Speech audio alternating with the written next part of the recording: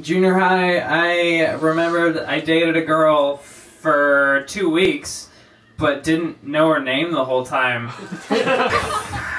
I don't remember her name now, but I don't know why I would. Uh, like, at some point, a friend of hers just mentioned her name. I wasn't sure if it was if I didn't know the name well enough to even know it when I heard it. You know, I was like, "Is that my girlfriend's name?"